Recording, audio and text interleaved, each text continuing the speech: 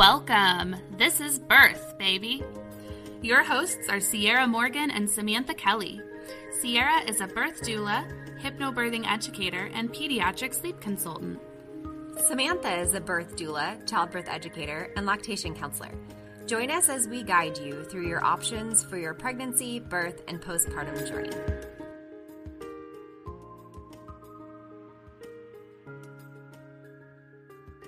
It's common for people to ask what they can do to prepare themselves for labor and birth. On today's episode, we'll talk about it all exercises to do, foods to eat, things to drink, and practitioners to see. So, what do you have for us today, Samantha?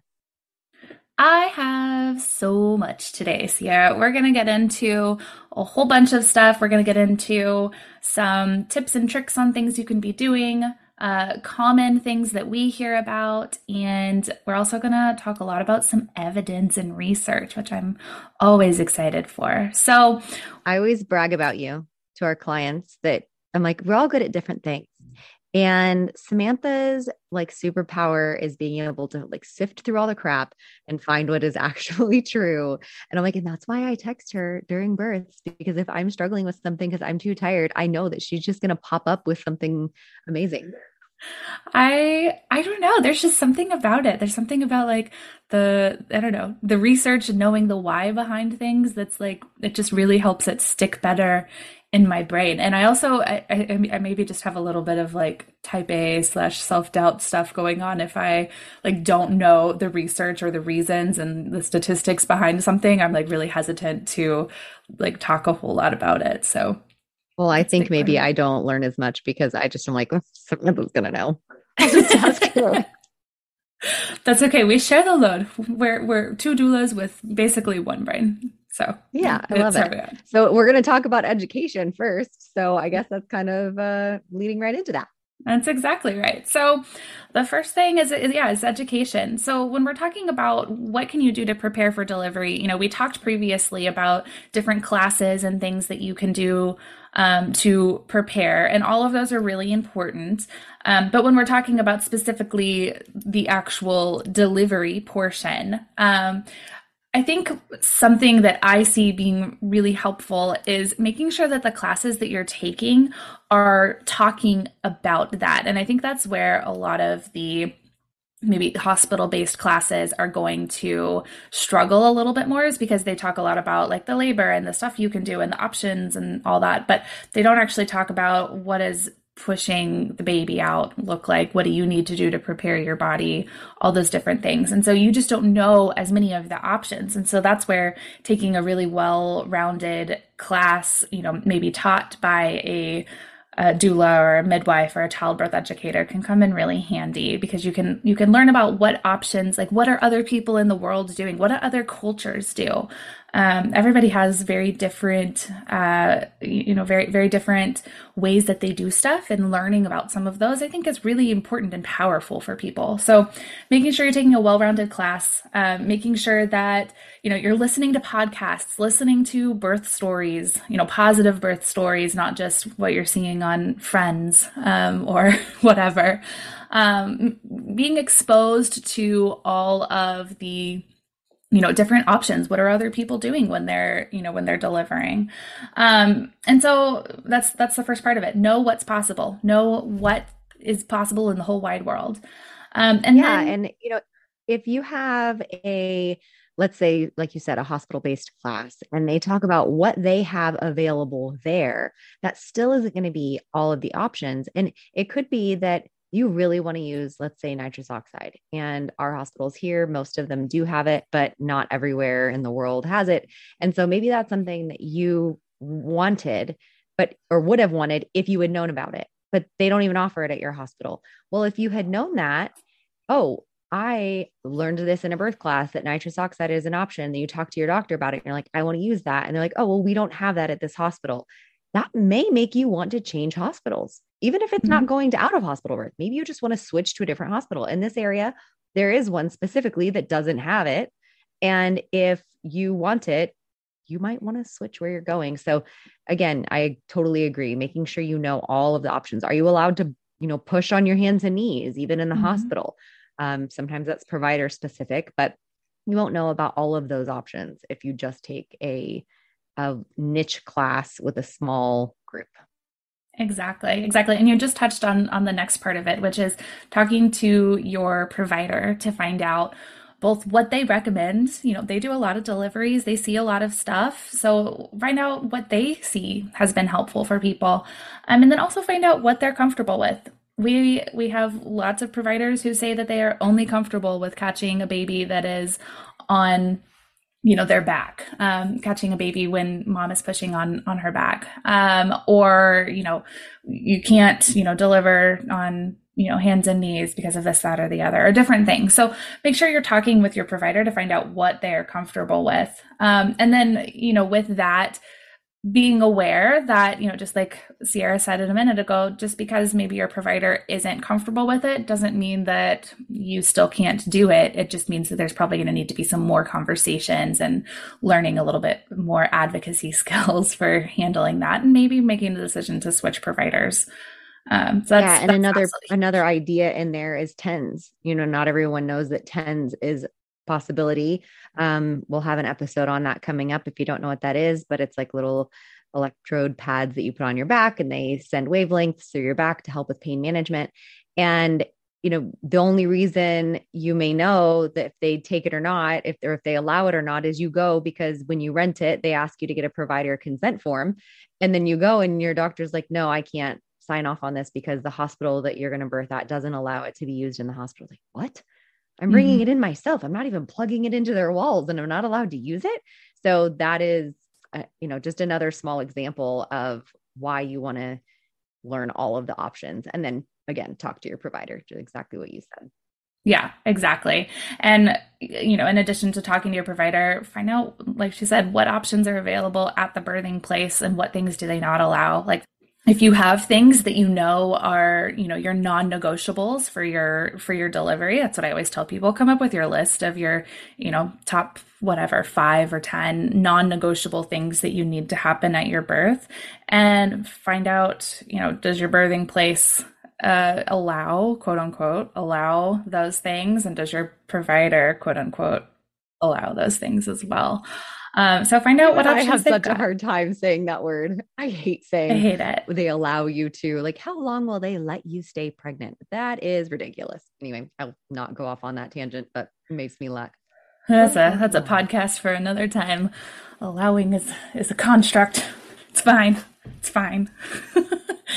um, okay, so next, what we're going to talk about is exercise. So when we're talking about getting ready for delivery. Uh, if you've taken any sort of childbirth class or listened to Sierra and I talk about you know birth for any amount of time you know that birth is a physical support. It does not matter what your intentions are for pain management in your delivery. Birth is going to be a physical support. So a physical sport. So exercise is going to be really important. It's going to help you build stamina. It's going to help you build strength um, help with help your body to handle stress and to handle pain better as well. Um, there's there's just so many different things that you wouldn't expect that you're needing to do in delivery, and even just the simplest act of rolling from side to side when you have an epidural that can take a lot of strength when you are contracting and you're you know 41 weeks pregnant and you have this giant bowling ball of a belly happening. It's a lot and it gets harder when you're actually in labor. So having that strength and that stamina and having your, you know, the ability to, um, to handle that stress is really, really valuable um, in those moments and also for postpartum too. Um, so some of the things that we really, some of the exercises that we really like for pregnancy to start getting ready for delivery uh, is walking, just really, you know, simple. Um, going for a daily walk, walk a mile a day outside on the treadmill at the mall. That's where I did all my walking when I was pregnant with my son in the heat of the summer. I would just go to the mall and I would walk around and around and around. And that was how I got my exercise and helped my body move. It's funny because we barely have malls anymore, it feels like. Like in the Austin area, we have two malls that are indoor malls, but mm-hmm. it's almost like they're being phased out. like know, people go so for sad. walking groups in the mall. But my daughter actually said the other day about her friends going to the mall and she didn't say the ones that are the outdoor ones that are the more popular ones. She said the indoor mall. And I was like, oh, wow. Okay. You guys are 13 and you're going to those. I'm kind of excited about it. It is exciting. All of my know, like, like early childhood memories are walking around at the mall. yeah, going on the escalators and all mm-hmm. of that, mm-hmm. which I mean, I guess if you're pregnant, you don't really need an escalator. Stairs are probably better, but um yeah, a lot of benefits to inside because when yeah. you are pregnant, you really don't want to be walking around in the super duper heat. So if mm-hmm. you are in the south like us, make sure you're doing those walks in the morning or late in the evening and even still making sure you're bringing lots of water because dehydration is huge. And vice versa, if you're in the north and it's the winter and there's ice all over the ground, then you maybe also want to be inside. So Yura doesn't even consider that because that sounds awful. We don't know what ice is. We live in Austin, Texas. Except in February for about one week. Then we know That's what right. ice is and we try to forget about it before the next February. That's right. And the whole city shuts down. It's fine. It's fine. So, walking, really great start to exercise. Um, if you're not going to do anything else, do some walking. That's going to be maybe one of the best things that you can do. Um, next, we have on on there is prenatal yoga or even like Pilates can be very similar. Uh, I think that so the reason I, I say prenatal yoga versus like any sort of regular yoga is because there are some stretches and exercises that you really don't want to be doing. Um, you know, often or holding quite as long when you're pregnant. Um, I'm thinking of like downward dog and some of those things. You may not need to be doing those when you're pregnant um, at different phases in your pregnancy. So, doing a prenatal yoga class where they, you know, they know what's good for your body.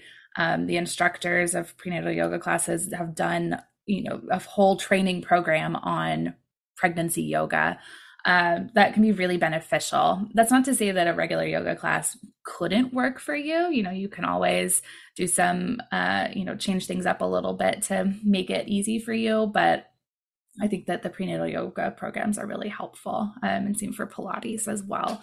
Um, but they can just help you, you know, absolutely connect with your body, uh, practice some of those mindfulness techniques that we find just massively beneficial uh, for pregnancy and labor. And um, really work on on that strength building and that flexibility and all those different things that can come in really handy when you're in labor. Um, yeah and then we also have uh, strength exercises. So there's a midwife, a really famous midwife named Ina May Gaskin, and she likes to say that doing 300 squats a day is going to make for a faster delivery. Um, I don't know about y'all. I don't think that I could do 300 squats a day if I tried. I, I was trying to think about this the other day. Like, I think it's possible I could do 300 squats in in one day, but there's absolutely no way I could do it the next day or even maybe walk the next day. like I could do 20 quite a few times, maybe. I just yeah. feel like this would be a really funny thing to go live on and have you and I sit there and try to do 300 squats in one sitting and see how far we get. I think that needs like to be I think that needs to be our first like Patreon thing someday when we launch our Patreon. People could bet on us. Oh, People yeah. could bet on us to see who's gonna. There's so many betting opportunities here. Who's gonna get the most squats in? Who is going to fin- like quit first or who could do it the fastest. Lots of things here. So What's many number things. you think we'll get to. Who's gonna fall on their butt trying to do a squat because their legs give out? It'll be me, hundred percent. What's funny is that I think there are some of our pregnant clients that for sure would beat us. Like I bet they could do it with us and they would win. when we're talking about exercise during pregnancy, it's also really important to just be in tune with your body. Know what your limits are. Know what is going to be, um, you know, what, what's going to be beneficial for you and what's maybe going to be harmful for you and listening to your body and what it's trying to tell you. So if you're talking about starting a new exercise regime when you're pregnant it's always good to one talk to your provider about it make sure it's something that they are comfortable with you doing uh, you know maybe coming in and and deciding that you want to do some weightlifting and kettlebell swings and deadlifting and all of that when you're 20 weeks pregnant and you've never done that before, maybe that's not your best bet. But so there's some other things that you could be doing. Um, but just chatting with your provider.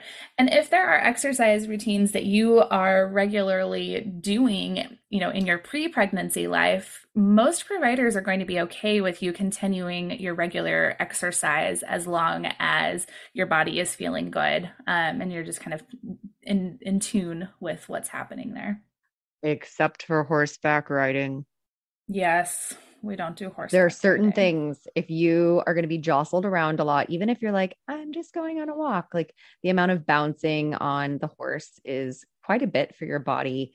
Um, another, you know, if you do ice skating or something, like anything that has a high risk of falling in that activity is probably not going to be something that you should continue to do. But it's not that you can't do the motions, it's usually the possible um, harm that could come to you, maybe that's out of your hands. So even if you wouldn't hurt yourself doing it because of you, if there's a, a risk there. So, yeah. other than that, though, they usually say if you did it pre pregnancy, you can do it while you're pregnant for the most part, but just check with your provider for sure. Yeah.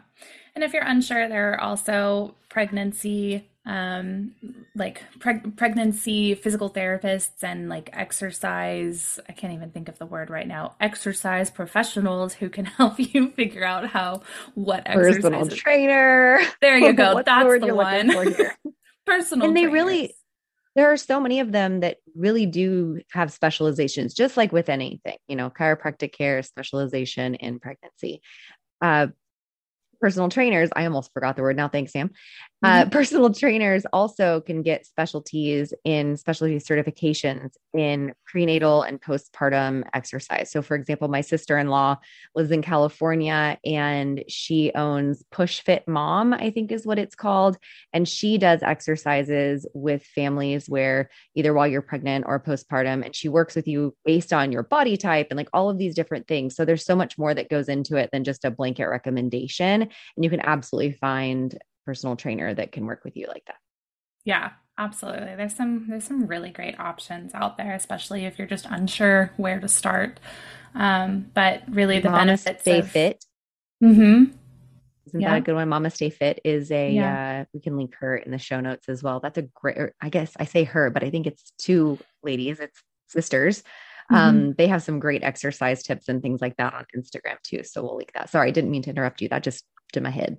Yeah, yeah, definitely. I mean, there's there's so many great options. We, you know, both internet or internationally, I guess, but also across the U.S. and more localized here in Austin for those of our clients that are around town as well. Um, but again, the benefits of exercise can't be overstated. It's so helpful, uh, just for your all around health, your serotonin levels and your your energy levels and all these different things. Endorphins. So, endorphins. The biggest complaint that I get in labor is not the quote unquote pain of labor. It's often that people's legs are too tired. Like mm-hmm. most of the birthing positions you get into or laboring positions you get into, almost all of them use your legs. So yeah. eventually your legs are going to feel like they're giving out and they kind of give up before you do. And I kind of joke that I feel like one of those UFC trainers or coaches where when they come off when the bell rings and they're in between rounds and someone's kind of meshing their legs all together and they're kind of kneading out those muscles and trying to get the blood flowing back in there. I'm that's me between contractions or waves because people's legs are tired or they're getting a Charlie horse. So the more toned you are um, pre birth, the easier your birth will be for that portion of your body. But also, practicing those positions during pregnancy so that it's not some brand new position you're getting into in labor. So if you think you might want to squat off the side of the bed, maybe hold on to the side of the bed and squat down for a little while. So to see kind of your stamina for that or if you're going to want to be, you know, sitting backwards on the toilet, as silly as that sounds, go sit backward on the toilet. Just see what that feels like. So go through some of those labor and birth positions, practice them because the bigger your belly gets, the more awe, like awkward, I guess. I'm not going to say uncomfortable, but more awkward it will feel. And if you've never done it before, it's going to feel real awkward doing it for the first time in labor. Absolutely. Absolutely. And knowing what's like what's comfortable for you and what brings more intensity. Where do you feel, you know, more like pressure in your pelvic floor and different things like that because there are times in labor that we want to be in positions that are going to bring comfort and there are times in labor that we're going to want to be in positions that bring intensity. So starting to recognize early what those positions are is never a bad idea. So, next thing we're going to talk about is food and drink. So, nutrition overall, what can you be doing? What things are going to be helpful for preparing your body for labor? A lot of it is going back to what we were talking about in exercise. We want to build strength, we want to build stamina, we want your body to be strong and healthy so that it is able to handle the, you know, handle with grace, I should say, the uh, you know, the rigor of labor of labor because it's called labor for a reason. It's you're not just sitting there hanging out. It's a it's it's a whole thing. Um, again, no matter what your what your plans are for pain management, your body's going to go through a whole lot. Um, so things that are really important to pay attention to when we're talking about nutrition and pregnancy. Um, you know, making sure you're getting lots of protein. Um, this can be a little bit more difficult for people who are, uh, you know, vegan or vegetarian. So if you, you know, have one of those special diets, just make sure that you are being really mindful about the amount of protein that you're getting and you're adding it in as much as possible wherever you can because your body needs so much protein in order to build those muscles and you know have that strength and stamina for labor. Yeah we've had families we've had families that are vegan and continue to be vegan throughout their pregnancy and do just fine. But i will say that we've had vegetarian and vegan families that actually go into eating meat during pregnancy because they find it really difficult to um, get enough protein in they do have mm-hmm. easier things with like, you know, the legumes and things like that that you're going to eat. That's easier for them to get in, the spinach and all of those things, but not uh, you know, that good old iron and meat is going to give you, you know. Yeah. So no one's gonna, you know, you don't have to tell anyone. If it's like a thing like can't tell people people can't know i mean i'm such a vegetarian like i'm so passionate about this we've had people that are like that and then they make a different choice for their pregnancy just for the health of themselves and their babies. But again, totally up to you. Yeah, absolutely. Being just being in tune. This all I think it all always comes back to that. Being in tune with your body and knowing what is going to work best for you, um, and knowing that that is likely to change throughout the course of your pregnancy and your postpartum experience. So, um, high protein foods, very helpful, um, very important. High fiber foods, also very helpful, especially towards the end of pregnancy as your body maybe starts getting a little bit more backed up and uh, you might have some of that really lovely pregnancy constipation that is just so common. Um, high fiber foods, very, very important for those issues. Um, and lots of vitamins. So things like magnesium, calcium, um, potassium, and then like folate and folic acid, which I think we hear a lot about folate and folic acid when you are uh, pregnant. You always talk about like the prenatal vitamins that we need to be taking that have high levels of those things. And that's because th- the folic acid is what is going to um, help your help your babies uh, like brain and and heart and all these things actually grow. So it's really important to be getting the right levels of that, enough of that. Um, so it's always recommended to take supplements with folic acid or folate. Um, there is a difference. Someday maybe we'll go more in depth on that. But basically, if you have a certain gene mutation, uh, your body's going to process HFR. Yeah, that one, MTHFR. Um, I always think of it as good. a bad word. Mother something is what yeah, I always think. What it looks like. MTHFR. I know. But yeah, that's definitely, and if you have that, you know what it is. Um, yeah. and we don't have to go into it, but that would be a situation where you don't want to take folic acid. You want to take the methylfolate or whatever it is. Um, and you can also get magnesium through Epsom salt baths. I don't think you said that. Yeah. Did you? No, I didn't. Uh, it's so nice to be able to first of all a bath in general is just so nice to just relax in.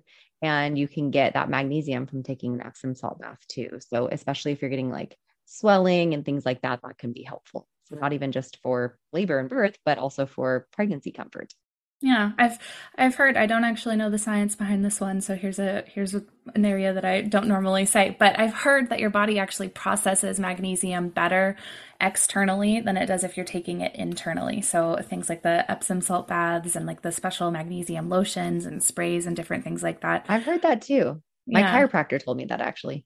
Yeah, that I think that might be where I've heard it too. So maybe they're on to something. I'll have to do the research on it someday.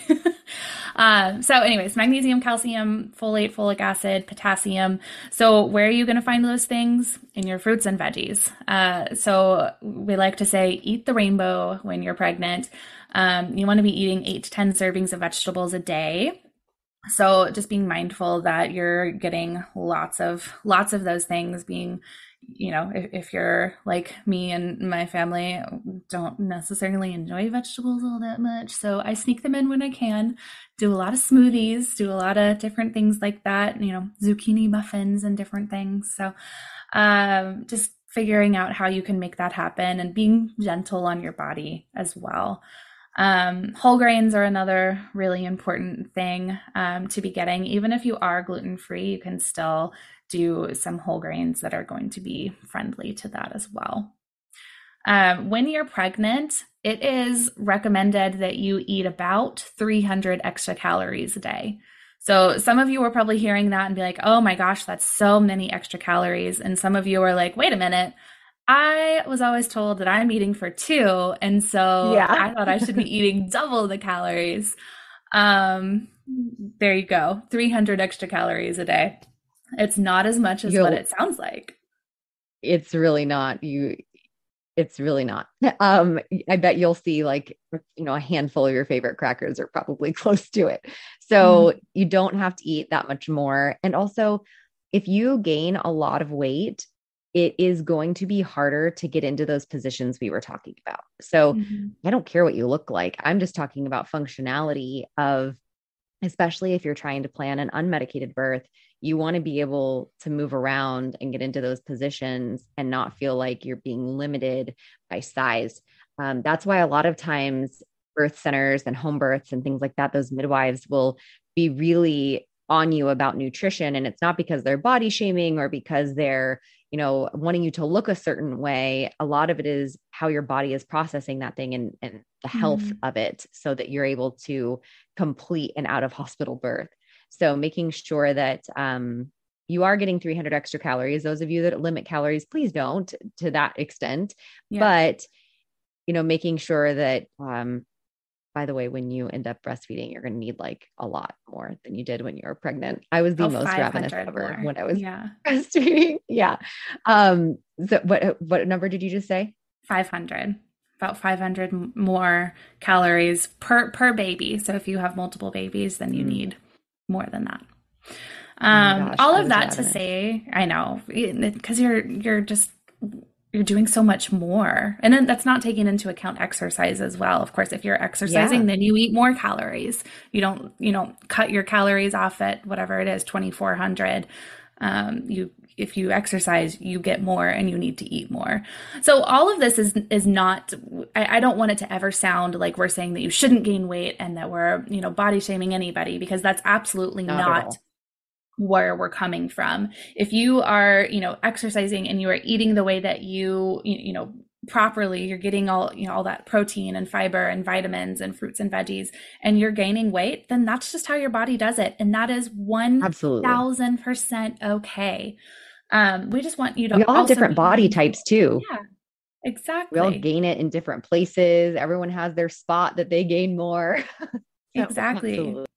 You could gain 20 pounds in, in your pregnancy and be unable to do all of the things, you know, have a hard, tougher time doing all of the things um, in labor that you need to, or, you know, than somebody who gained 90 pounds during their pregnancy. When I had my son, I gained, I think I gained 75 pounds with my son. Like it was, it was a pretty significant amount, but you know, I was also staying active and eating what I needed to. So that was just how my body decided to do it that time, and that was fine.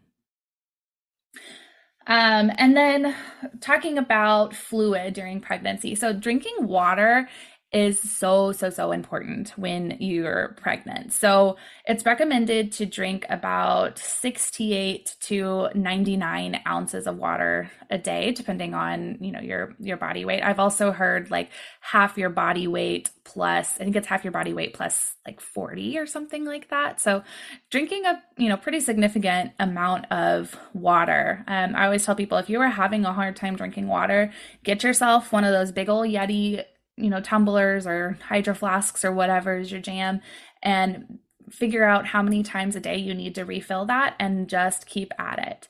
Um, so water is going to be your, you know, your best way to get fluid intake, but you can also, you know, do a little bit of like drinking teas and drinking some juices that also might have some drinking, uh, you know, coconut waters, different things like that. That can also be part of your fluid intake, but the majority of it does need to be water coffee and Dr. Pepper do not count as your fluid intake. Those are just little bonuses on top. Yeah, bummer, but it's true.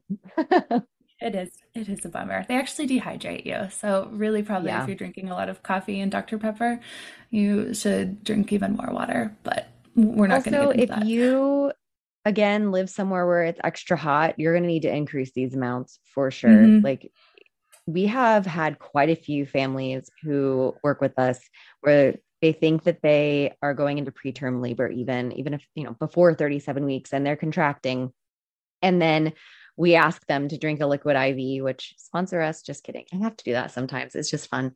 Um, liquid IV is a great way to get your, and it's not colored, which I really like. Um, mm-hmm. Great way to get the electrolytes and all of that and help balance your body back. Uh, some people prefer Gatorade, not myself, but some people do. Mm-hmm. Anything with electrolytes in it, um, because we tell them to drink that, and then all of a sudden, oh, magically, they're not in labor anymore. So, yeah. especially in Texas, and if you're going to be doing that walking thing, we had one mom who was like, "Well, I was paddleboarding all day," and I'm like, just because you were on the water doesn't mean you didn't need to drink water. You've got to be drinking more water when you're outside. So pay attention uh, to Austin sure. problems, paddleboarding know, all day. She's like, well, I hiked down to the lake from my house and then I paddleboarded and then we hiked home. I'm like, uh, shocker. That'll do it. Having waves. That'll do it. Again, this just goes back to being in tune with your body. Listen to your body. If it's telling you that you're doing too much, then you need to sit down, you need to take a nap, and you need to drink so much water. And if your body is still hurting, then call your doctor.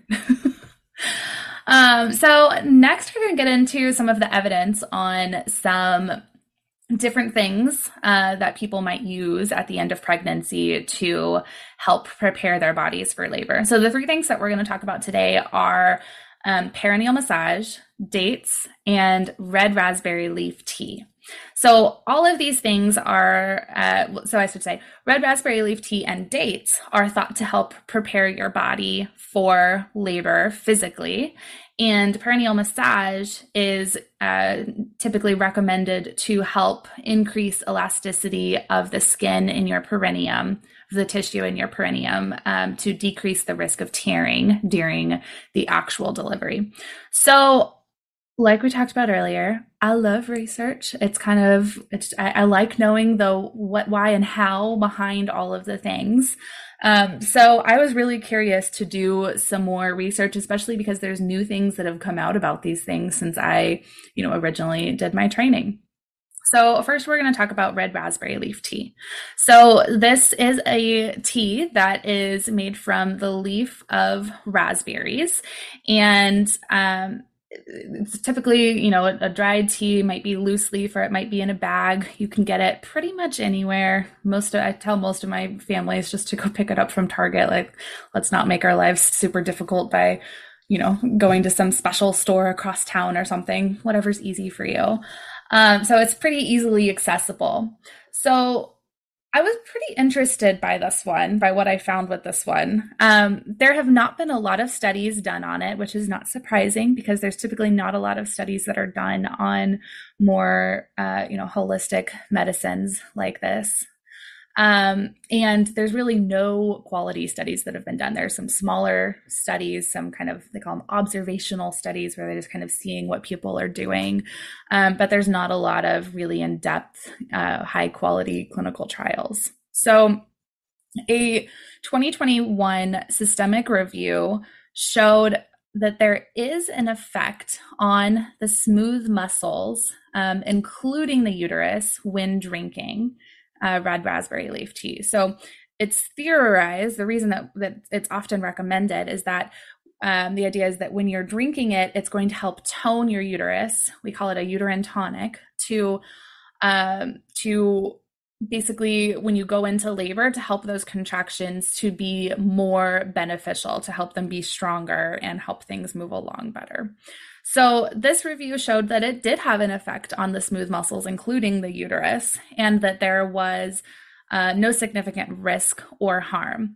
However, the effect that it was having on the muscles was kind of it, it, it, wasn't consistent it seemed like sometimes it was helping those muscles to relax and sometimes it was helping those muscles to contract and so you know for some people it might help you know kind of get things moving along and for other people it may not do a whole lot um so i thought that was doesn't really that just feel doesn't that just feel like everything else in pregnancy we're like and if you are in labor, early early labor signs, you may be constipated, you may experience diarrhea, and you're like, cool, all all the things. Uh-huh. But this kind of blows my mind because, you know, I trained four years ago. I guess maybe it's, longer ago than that now, but still. And we were absolutely told that this helps tone the uterus. And I was, I always say in class, it's kind of like doing bicep curls, but for your uterus um, helps your uterus to be stronger and therefore you have more effective contractions during your labor. But it's kind of crazy that I now feel like I've just been saying things that aren't true. Um, however, I can still see a benefit in that if if it gives you practice contractions or practice waves, as I like to call mm-hmm. them, that's an opportunity to connect with your mind and body and do some breathing techniques or relaxation techniques so I, I can see how that would still be a benefit to have the experience of feeling what a couple of waves might feel like, at least on a, lighter scale. Um, but that is pretty crazy that it's like, oh, it might help you, it might not. And you won't know while you're drinking it if it's really helping you or not. Yeah. May the odds be ever in your favor. Yeah, um, but sure. the bottom line is that there was no risk or harm associated with it. So it's not going to hurt you to drink it. And it is a really good source of magnesium and calcium and potassium, which, as we just talked about, are all things that are really beneficial when you are pregnant. So, with all of that being said, um, basically, if you want to drink it and you, you know, you, you want to give it a try, absolutely go for it. Um, typically, it's recommended to drink it in your third trimester um, is what most uh, you know birth workers would recommend is to start drinking it in your third trimester um, we normally recommend that you start small and then kind of work your way up um, and again, being mindful of one when you're drinking it. If if you are drinking your red raspberry leaf tea and you are getting a lot of those practice waves, then you know maybe that means you should drink it in the morning and not right before you go to bed, so that you're having a hard time sleeping, um, and different things like that. Um, and then um, yeah, just, you know, again, being in tune with your body. This is the theme of today's podcast listening to your body and knowing what's, you know, recognizing what feels good to you and what doesn't feel good to you. Um, so, yeah, that's, that's red raspberry leaf tea. Mind blown number one. All right. What's mind blown number two? I feel like all of these things you're just going to poo poo on. I just feel like it. Well, good news. We're going to talk about dates next. So, this one um, so dates are, you know, those little like fruit things. They to me they look like cockroaches. I think they're the grossest looking thing in the entire world, and I just cannot wrap my mind around it. Good job just giving that visual to everyone. Now no one's going to like them. You're so welcome, you guys. But there's some really great ways you can eat them. And maybe we'll link some recipes in the show notes. Um, because studies have shown dates to be beneficial during pregnancy. Um, so, dates are really nutritious and they are theorized to help labor by helping the uterine oxytocin receptors. So, we all have oxytocin receptors in our uterus, those of us that have uteruses. Um, we all have your oxytocin receptors in the uterus, and oxytocin is what causes contractions. So the uh, the dates are going to are, are theorized to help um, build those uterine oxytocin receptors to respond better to your own oxytocin, which would help you to have more effective contractions. Um, studies have repeatedly shown that it reduces the length of pregnancy and the length of the first stage of labor. And people who consume um, dates are shown to have more cervical dilation when they are admitted at the hospital um, than those who didn't. So it also helps with dilation. Uh, it's typically advised to start eating uh, three to four large dates, so kind of like the bigger ones, or six to 10 of the small ones by at least 36 weeks of pregnancy. So after 36 or 37 weeks of pregnancy, there has not been shown to be as much benefit if you hadn't been eating them previously. But if you start eating dates before that 36 week mark, it has been shown to you know help with all of these things reduce the amount of time you're going to spend pregnant reduce the amount of time you're going to spend in labor and help with that cervical dilation as well when we have people you know doing an appointment with us or one of our prenatal meetings, we usually say um, six dates a day for the last six weeks of the pregnancy, which would be like 34 weeks and on. And I have had people go, I'm not going to start until later because I don't want to risk that I'm like getting my body ready too early. However, it this is not going to set you over into labor if your body's not already ready. What it, this is helping do is to soften your cervix so that when your body is ready to thin and open, it's able to do that more easily than it would be if your body wasn't already softened. So it's kind of mimicking prostaglandins in the body. And that's one of the hormones that your body makes and mm-hmm. helps soften your cervix. And prostaglandins are also present in semen. So that's another reason that semen applied to the mm-hmm. cervix can be helpful. But our bodies also make prostaglandins on their own. So if you're someone that has let's say gestational diabetes and you're not able to eat all of the sugar that's associated with all of these dates don't worry about it. It's okay. It's not going to be the be all end all. But if you can have them, great. If not, your body's still creating prostaglandins. And if you want, if you have a partner that creates semen and you want to ask them for a little help, um, flying okay. that to your cervix so that you can have a more prepared cervix, go for it. But don't worry about this putting you over into labor if you're not ready yeah, this is just, it's going to help prepare your body. And it has, like I said, it's been shown to be most beneficial if you are starting early. So start early with this one. Um, we'll, we'll link some, some of our favorite recipes for dates in the show notes page, but I can say my absolute favorite way to eat dates, uh, slash really one of the only ways that I will eat dates is if you uh, you can stuff them with goat cheese and wrap them in bacon and cook them. They are wonderful. Um, just one of the very best things in the world. So that's how I like them. This is one also... of those, but you're not supposed to have goat cheese when you're pregnant. A lot of people do that anyway. I know. Eh, I so mean, if you're worried about it, you can find pasteurized cheese, but this is not medical right. advice. Talk to your provider about what also, they're okay with, but go, uh, you know, that's kind of here or there. you can make your own Lara bars too. I don't know if you guys mm-hmm. have ever had Lara bars, Those have dates in them. You can get on Pinterest and look for their little recipe. It's well, I'm sure there's a lot of them, but I've made those before and they're really good. Mm-hmm. I've seen people make like date balls with coconut and cocoa powder and all sorts of things. Yeah. So you, you can, can, you can go- use them as sweeteners in smoothies. You can also go buy the Larabars or RX bars. Most of the RX bars have two dates in them each. So if you're like, I don't have the time or the desire for this, go pick it up yourself. It's fine. I'm so weird. I just can eat them plain. I like them. You are weird. You are weird. Anyways, all right. So next we have perineal massage, which I almost always say wrong. So bear with me here. See if you recognize me saying it wrong, and then you can call me out in the in the comments later.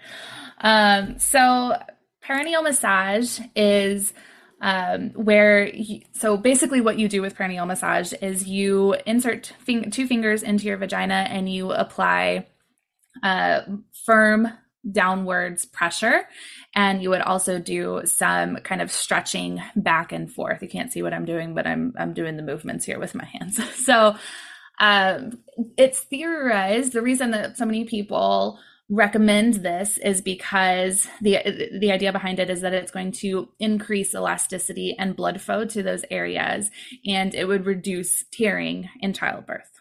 So again, I really like to know the what, why, and how behind things. So I was curious to read more about the research on this. So, according to evidence based birth, um, perineal massage has not been shown by multiple studies and reviews to be the most beneficial way to protect from severe vaginal tears. Um, evidence shows that it's not going to do anything for first or second degree tears, which is the most common type of tear. So it's not going to reduce your risk um, of either of those things happening. And it ha- there has been some limited benefits to protecting from the most severe tears, meaning third or fourth degree tears, and from episiotomies. Um, first time birthing people have the most significant benefit here. Um, really, there's not been shown to be any benefit for second or third time birthing people.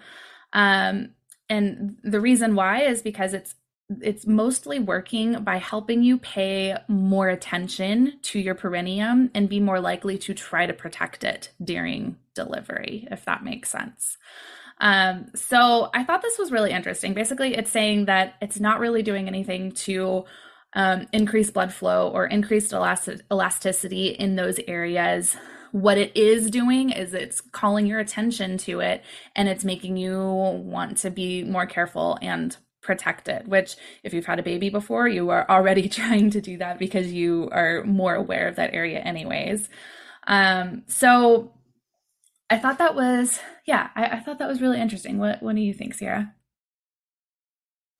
I definitely I'm still going to recommend it because I think that there is huge benefit to, again, connecting with your body. Just like I said with the red raspberry mm-hmm. leaf tea, still taking it so that you can potentially have some practice waves and get to breathe through them and relax through them. If someone is doing perineal massage to you and in hypnobirthing, we teach something called progressive relaxation, where like you try to literally let your body go completely limp and loose. If you mm-hmm. go completely limp and loose while someone is doing perineal massage, and it should be pressure, but not pain, and you're able to relax through that pressure, then that's a sensation that doesn't have to be brand new when you're in labor. No, it's not going to yeah. cause the exact same pressure baby's head's going to cause. However, it's similar enough that it's you know, there's so much newness in labor. Mm-hmm. So even if this isn't going to create elasticity and all of those things, which again, mind blown, I told you you were going to bum me out about all of these things. I'm just kidding. Um, I have a, a, new class series starting in two days with another hypnobirthing round. And I'm like, I got to go through my slides and change some things after all this research. But I do think that just the connection with the body. Um, and if you do it yourself, you know, that's fine, or have a partner do it, that's also fine. Yeah.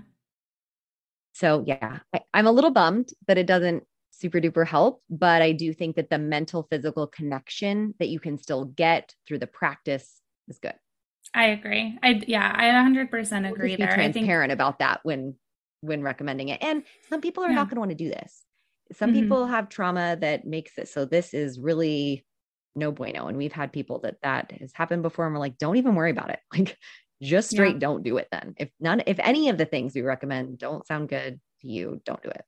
Yeah, absolutely. Yeah, and I, I think that's a huge part of it. Is uh, you know, is it is it going to be be the thing that separates you from a you know positive birth experience probably not but can it help you have a more positive birth experience probably. It can it, you know especially when you're delivering in a hospital and you are just a little bit more disconnected from your body doing something like perennial massage to help you connect more with your body that might be the thing that that really sets um, you know sets you apart. So i think that that especially for first time birthing people um, this is not something to check off your list, but with this research, I also think it's fair to say that if it's something that you're just not feeling like uh, is right for you, then I think it's completely appropriate to to you know leave this one off.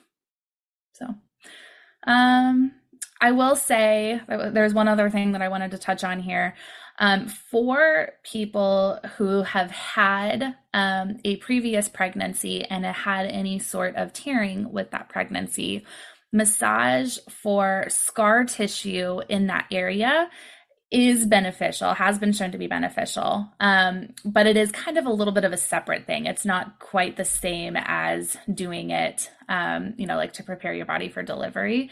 Basically, what it's doing is it's helping to break down the scar tissue um, and uh, make it so that you're less likely to have those same tears happen again in your next pregnancy. Um, this is something that pelvic floor therapists uh, can work with you on. Um, and most pelvic floor therapists, if you've had a previous uh, delivery, this is something that they're already going to be working with you on. But if, um, you know, if you have financial restrictions or you're just not able to find or see a pelvic floor therapist for some reason and you know you have had previous tearing, then uh, doing some massage on that scar tissue wouldn't hurt. So Which kind of brings us into the next thing. that's exactly right. So the the next and the last thing that we're going to talk about today is practitioners to see. So again, we had another episode that talked all about all the practitioners to see during pregnancy. So we'll just kind of touch on these for a minute here. Um, chiropractic care. So chiropractic care is we call it professional balancing right? So it's going to help your body to be more balanced um, help everything to be in alignment help your ligaments to be loose and kind of everything to be all ready to go for delivery so that when you do go into labor we're not going to be held up um, by you know tightness over here or a pelvis that's misaligned over there or you know baby that's in some sort of funky position because if your body is well balanced then things are more likely to progress um, at a i guess just a, a more natural pace. Um, so chiropractic care super beneficial. Um, pelvic floor therapy always helpful. So if there's a few things um, that I think pelvic floor therapy is really beneficial for, especially when we're talking about delivery. One is, like I said, if you have um, a previous delivery and you had any sort of things that went on with that scar tissue, different things, that can be really helpful. But then also pelvic floor therapists can help you start learning what muscles to activate to effectively push. Um, my clients that I've had that have seen a pelvic floor therapist during their pregnancy are typically a lot more efficient at pushing than those who, you know, are just first time, never done it before. Um, so I, I see it to be really beneficial. Um, yeah. What you have any any feelings on that? No, I've just been really surprised at um I will say I was a little bit a long time ago. I was a little bit of a skeptic of this whole pelvic floor therapy during pregnancy and the more I've mm-hmm. learned just the more I've been so impressed by it and we've had a couple of families who have done kind of push prep classes yeah. And I've seen the fruits of their labor. That's kind of a funny word, labor. Um, I've just seen it be so helpful. And they really have been very effective pushers and really in tune with what's going on down there. It's been pretty yeah. impressive. Uh, we do have a pelvic floor therapist coming on in a few episodes, but mm-hmm. um, I guess that's probably all we can say without having her on yeah. here. But yeah, I, I really think that it's a great, a great thing. Absolutely. So stay tuned for that. Um, the last one on there is acupuncture. So acupuncture can work in a few ways at the end of pregnancy. Um, one, I, it can help to activate um, different hormones that might help labor to be triggered. So it can raise your oxytocin levels. It can raise your serotonin and endorphin levels and all these different things. Um, there's also like acupressure points that acupuncturists are able to hit that can sometimes be a trigger for labor. Um, and then the other thing that I think acupuncture is really good at for some people is relaxation. Um, and relaxation is a huge trigger for labor. Uh, I was just talking to a mom yesterday who is trying to convince her body to go into labor, and she's been doing a million different things to try to get things going.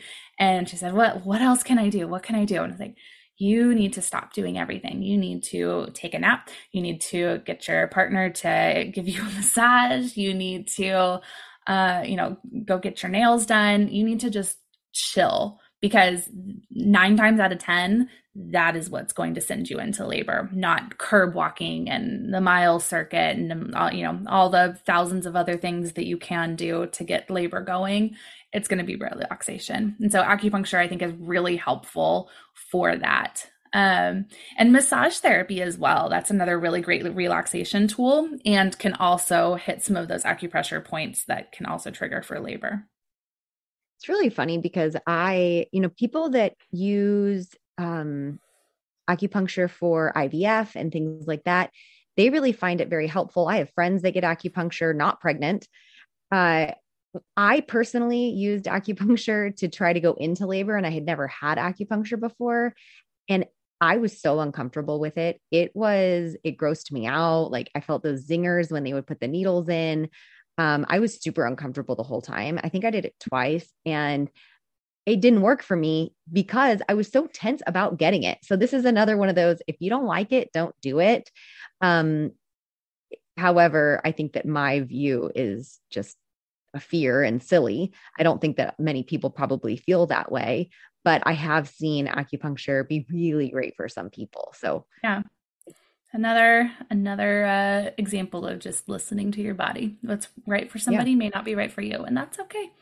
I personally loved acupuncture, and I I swear I think it's the thing that sent me into labor with Briley, but I don't know if I would have felt the same with Micah. So I don't, you know, I, it's good to know yourself and listen to what makes sense for you. And also, I think it is good to try new things. Um, you know, if you are, you know, having a hard time, I don't think it hurts to go give it a try. If it doesn't work, cool. You don't need to go back and do it again. But you know, if you really enjoy it, then maybe that's a new new tool that you can have kind of in your toolkit.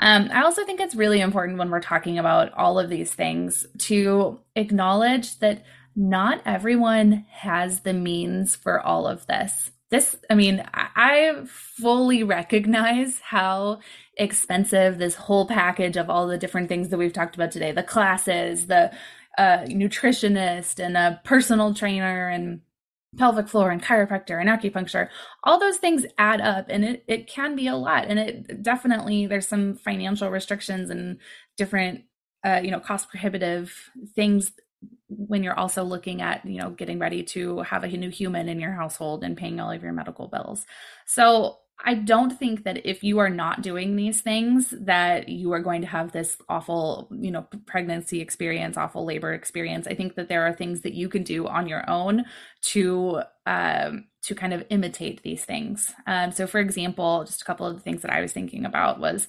spinning babies is a um, is a, another balancing activity that you can do for your body. So, when we're talking about chiropractic being professional balancing, spinning babies are uh, exercises, stretches, tools that you can use at home to help with balancing.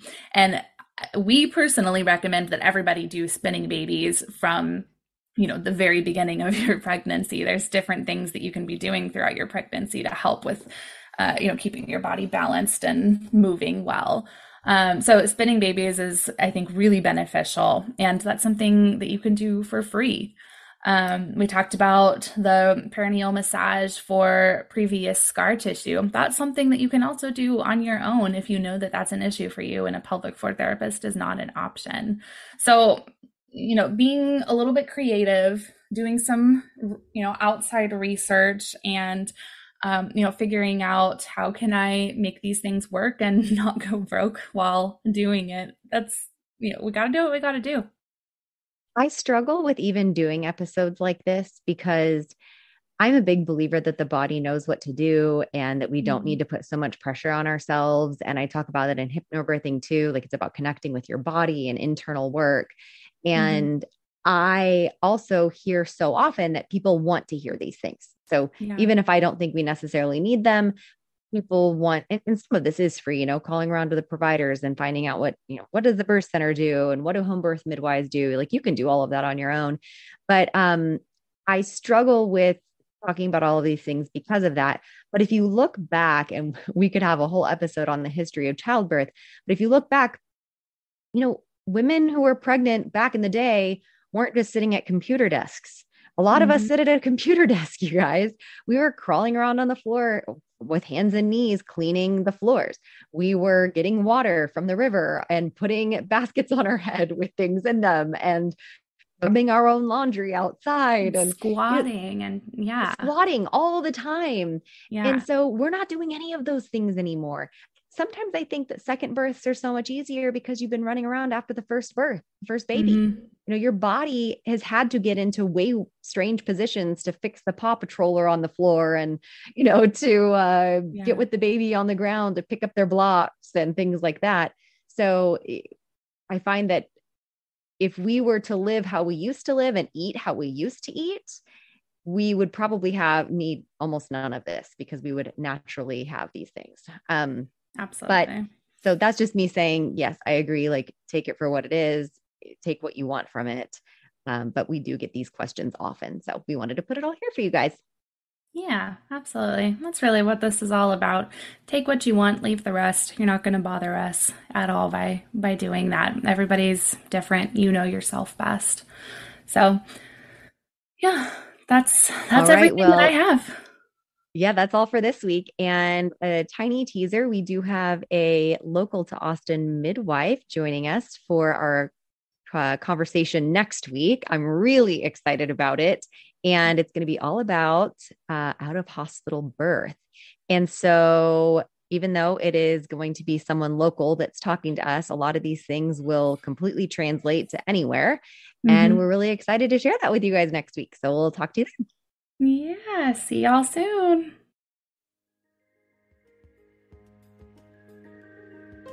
Thank you for joining us on Birth, baby. Be sure to tune in next week as we chat with Leonora from Home Birth Honey about out of hospital birth. Thanks again to Longing for Orpheus for our music. You can check him out on Spotify. Remember to leave a review, share, and follow wherever you get your podcasts. See you next week.